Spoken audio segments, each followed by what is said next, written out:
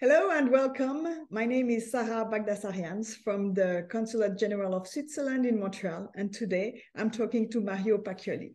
So, Mario, hello and welcome to you. You are a Swiss hello. citizen, an actor, author, composer, and performer, and above all, multilingual. Your mother tongue is Romanche, and we are talking to you as part of our Swiss Film Club Canada, which is screening the Swiss feature film Amur senza fin by Christoph Schaub from February 22nd to the 26th. So um, Amur senza fin is a film in Swiss German and Romanche, and it is precisely in order to talk about the latter that we contacted you. Uh, this week we're celebrating the fourth na national language. It has been recognized uh, on February the 20th, 1938, uh, for uh, as well, in parentheses, German, French, and Italian um, have been recognized in 1848. Uh, is spoken by 0.5% of the population in Switzerland, um, which represents 60,000 uh, people. So um, on this shoot, on the shoot of the film, uh, Mario, you've coached the team so that the actresses and the actors could deliver the dialogue in Romanche um, a language that they didn't speak at first. So, could you tell us how um, you've been contacted for this film? Well, hello, Sarah. First of all, it's nice that we can have the chance to speak to each other today. Well, yes, uh, I remember when uh, they were planning to do this movie and to shoot the movie uh, in the region where I grew up. Mm-hmm. Uh, it happened that uh, I was working on uh, Romanche on a music project at the same time, and that I spent a lot of time in uh, in Surselva. So uh, Mariano Tschuor, who was one of the initiators of Amur Senza Fin, and who worked also on uh, the Romanche project I was doing, asked me one day if I was interested in uh, coaching the actors and actresses during the movie Amur senza fin, and uh, I thought that it was a very nice opportunity to uh, to discover maybe the language, uh, my mother tongue, in a in a different uh, way. So I said yes. So how did you go about making Romanche their mother tongue? Um, how did you uh, teach, let's say, the main character Rebecca Indermaur, since she didn't she did not speak Romanche? Well, first of all, we had to uh, figure out which dialect they had to speak because uh, you have to know that in Romanche, uh, if you go from village to village, Romanche already changes because every village has its own particular words or ways of saying things.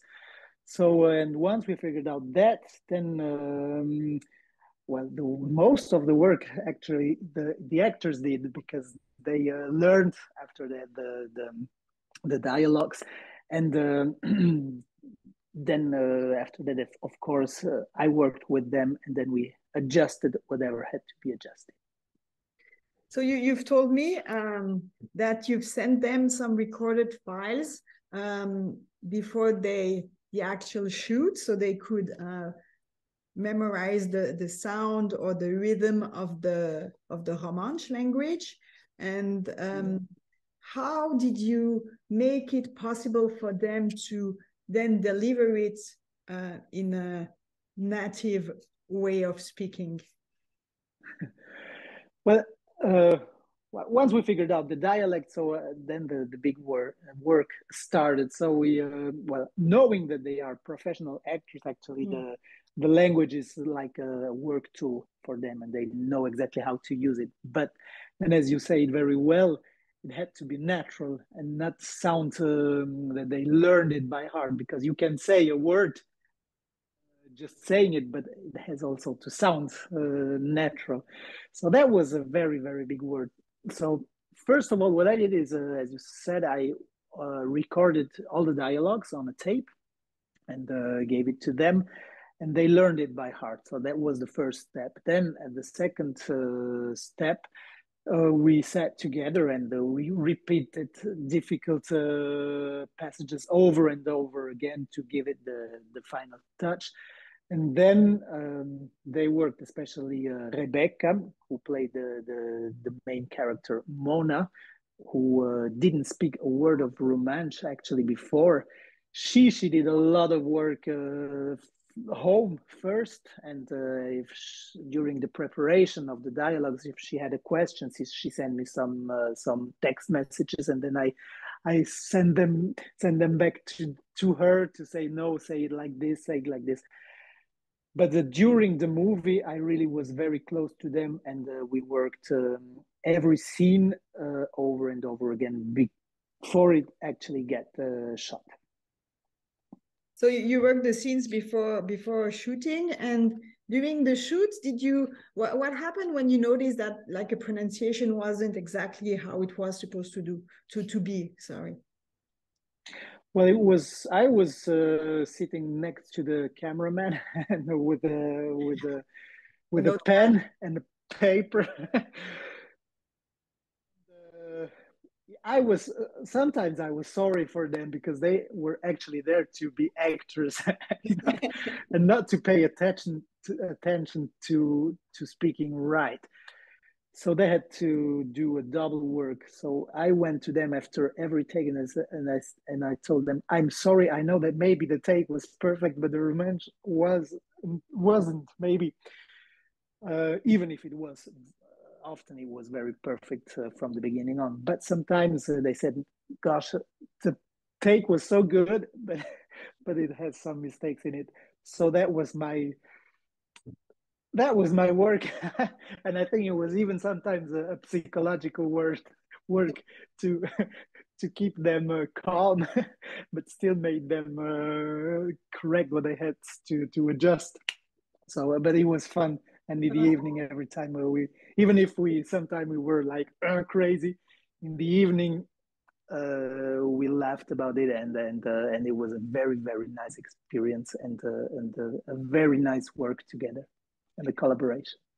So a question here came to mind uh, as you were talking about you know going over the dialogue you know after each scene but did some of the dialogue uh, um, could have been, um, let's say, recorded afterwards, even if the scene was you perfect, or was it like he had to be in sync with the scene? You know, uh, no, they, they, yeah. they, retake the dialogues in some movies, but the, in this movie that didn't happen. It was just one shot and that's it.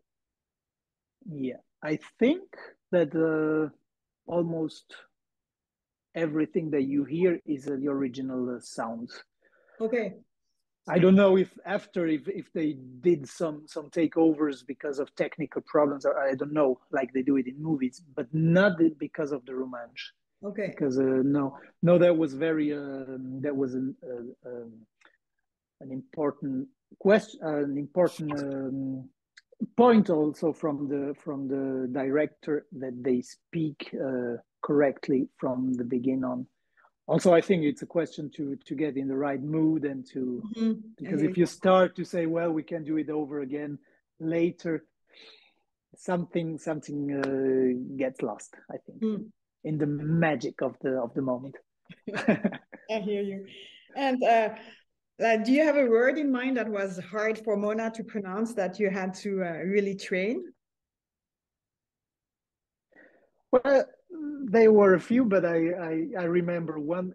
Actually, it became also our running gag during the during the, the shoot, and it's that's the word which oh, means it's terrible or it's awful. and actually, it's not not even that uh, complicated to say "zgrzajvel," but knowing that she is actually native uh, German speaking. Uh, and to know that the German languages have another pronunciation than Latin language. So uh, she would more say it Schkarscheivel. And if you say Schkarscheivel, every Romansh knows that it's a German who speaks. So, so we had to erase that.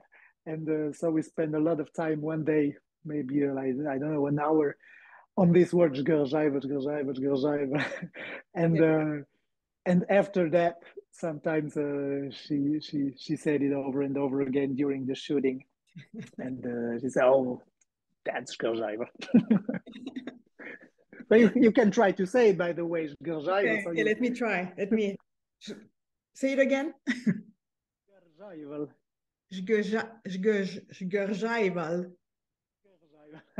That's perfect. Ouais,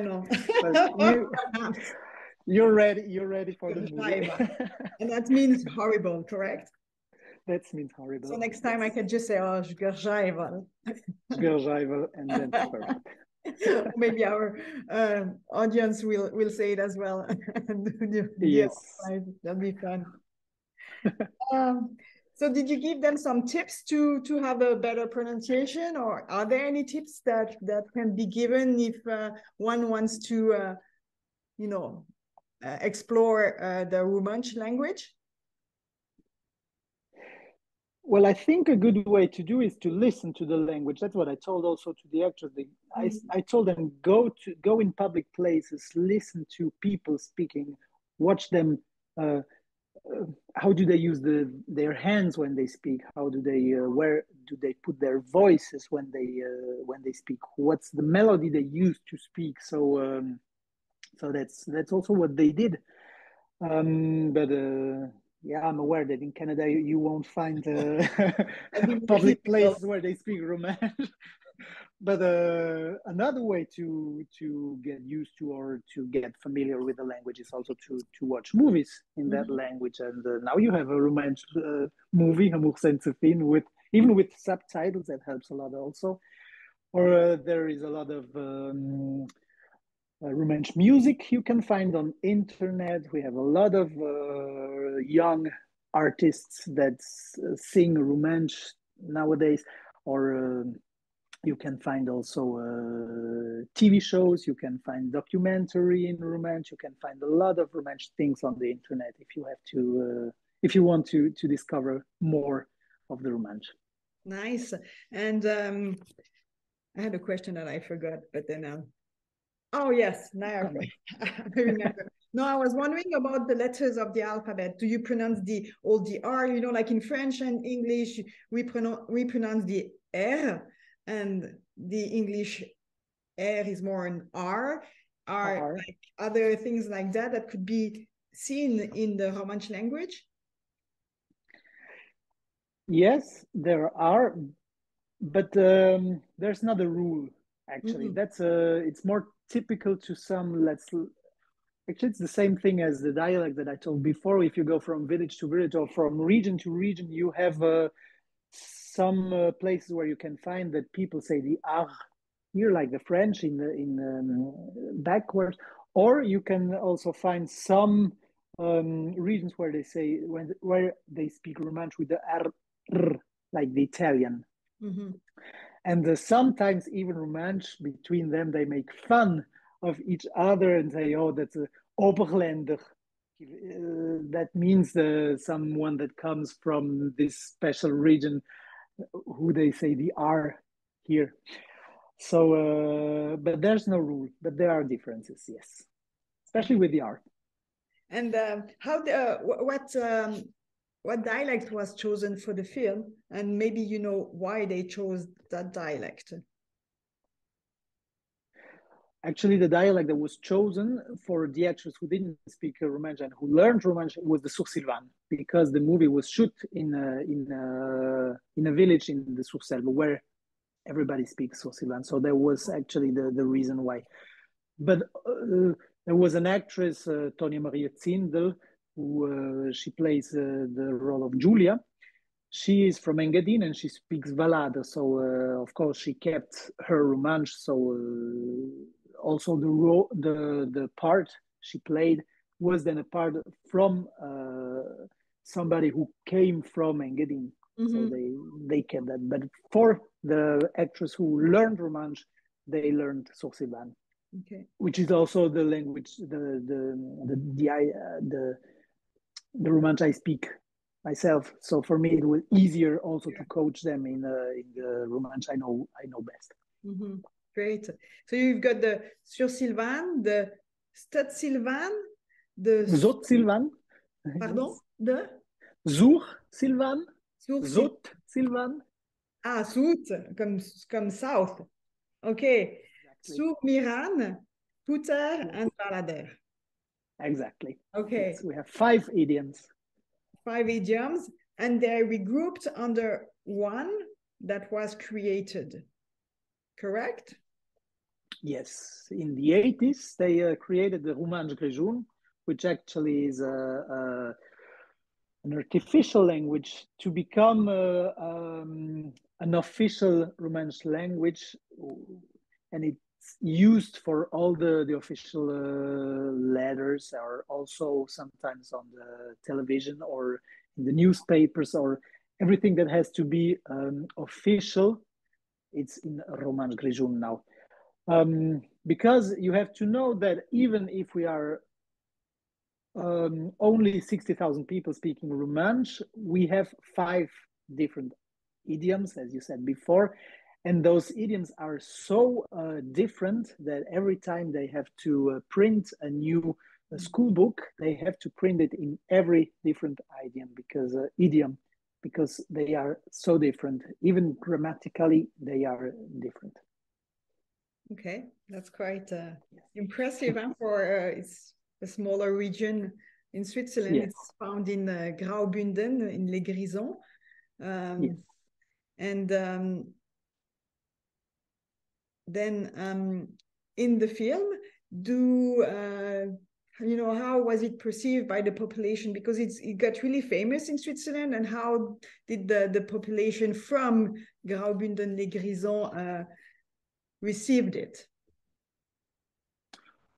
Well, I think in general in a very positive way because mm-hmm. uh, I was there at the premiere in uh, in Sagogn where they uh, shot shoot the film, and uh, I was uh, very happy to see that the people were they had happy faces when they watched the movie, and I think even that they were proud to to have now a, a professional uh, a professional feature film in in Romansh.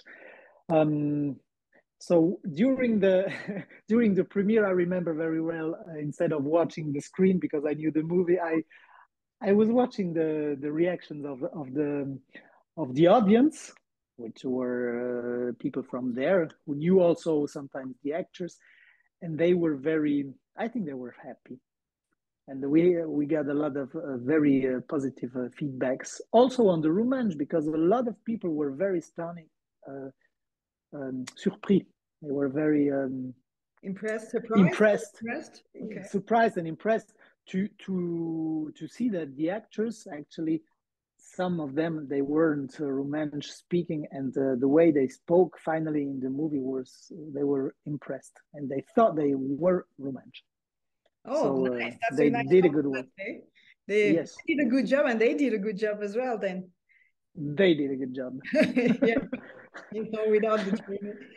And uh, did uh, everybody was like a professional actress or actor in the movie, or did some, you know, because you've got some scenes where you've kids and and they're actors. How did all of that like come together?